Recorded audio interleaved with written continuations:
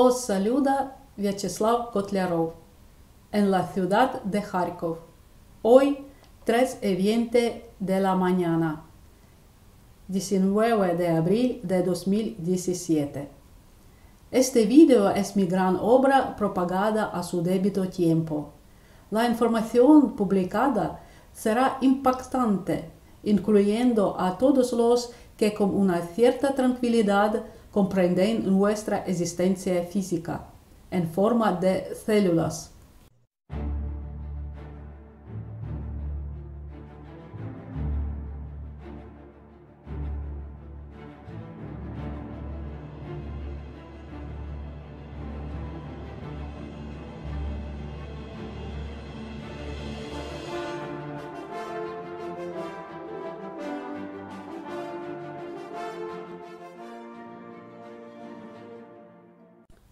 Se puede plantear la pregunta, ¿por qué hace un año la información no fue revelada al público?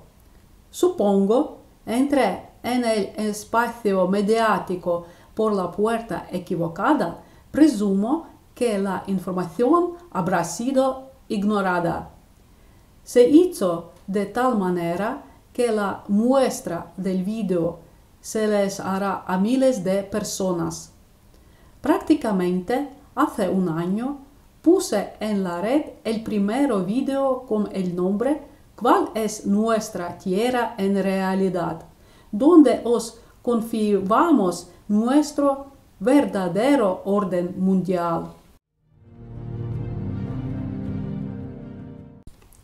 Hoy, casi las 8 de la mañana, en la ciudad de Kharkov, 25 de abril 2016. Y ahora aguantamos la respiración. Nuestro planeta es cientos de miles de veces más grande que lo que podemos imaginar. Es verdad, nuestro planeta es esférico, pero su territorio es increíble. En este territorio se encuentran cientos de miles de tierras, generalmente protegidas por un muro de hielo.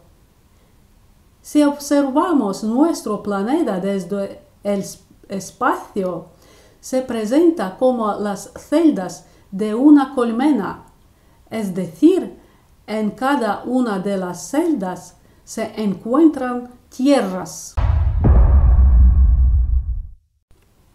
Pasado un año, el interés por mis conocimientos, en realidad por nuestros conocimientos, no ha desaparecido. Al contrario, ha aumentado decenas o más bien cientos de veces, probablemente miles. En este video os presento el verdadero mapa de nuestro mundo. Entrad en sintonía con un estado de ánimo serio Concentraos, porque la información que viene a continuación golpeará las mentes más talentuosas de nuestra celda. Empezamos. Desde el principio, quería recordaros la expedición nazi de los años 40. Esta leyenda ha sido contada muchísimas veces. Los representantes de la Alemania nazi fueron a tierras desconocidas y a juzgar por los mapas han alcanzado la meta. Cualquier perito cartógrafo, ingeniero, mecánico, sin mucha dificultad comprende la veracidad de la documentación. Los mapas están datados de 1943. Vayamos más adelante.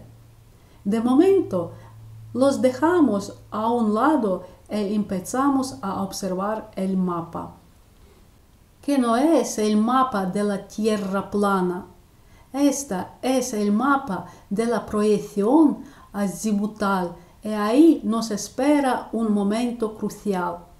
América del Norte y del Sur como continente no existen ha sido dibujado. ¿Y por qué? porque se usaba para rellenar el espacio vacío, inventar la ciencia falsa para explicarnos incongruencias. Se han inventado un gran número de espacios de agua. En realidad, la tierra firme es más bien amplia, más de lo que podemos imaginar. Y ahora, querido oyente espectador, observemos juntos el mapa de nuestro mundo.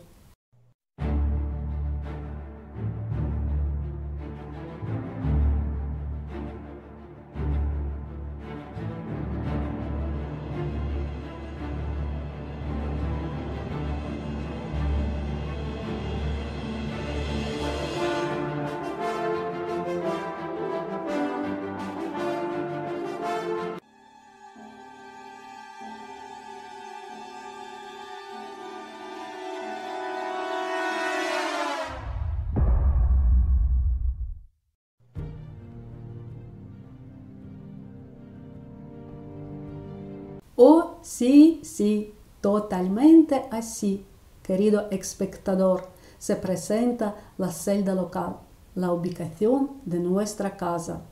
Probablemente lo que han visto mis videos dirán, para, nos habías explicado que esas tierras se encontraban en otra celda.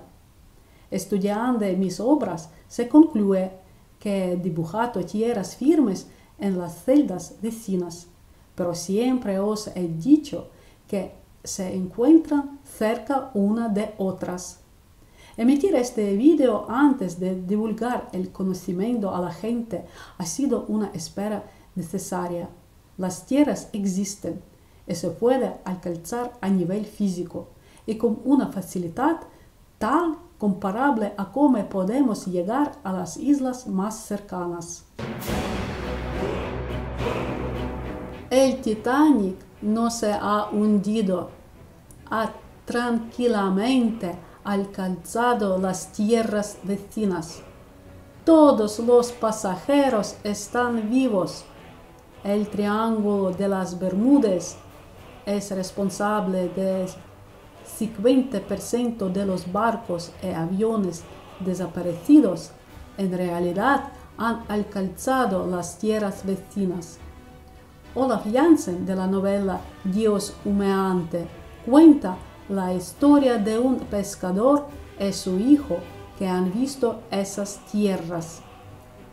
El protagonista de la novela La tierra de Sánico ha alcanzado dichas tierras. Años más tarde, los nazis fundaron una colonia en estas tierras.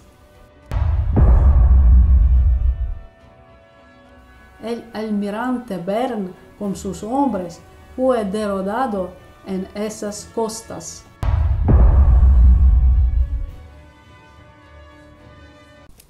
Efectivamente, hay muchos ejemplos que confirman la existencia de estas tierras.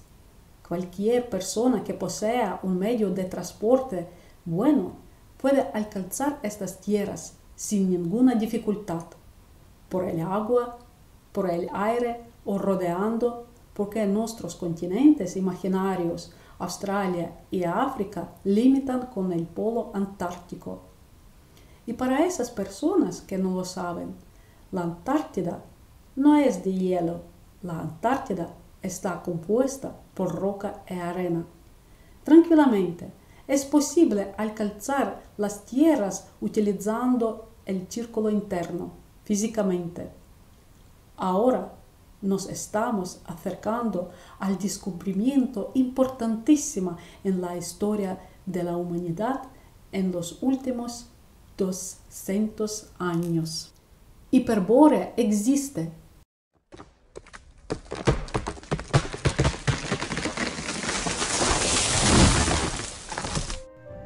Hiperbórea nunca desapareció los ocupantes no pueden destruir un lugar sagrado de nuestra celda.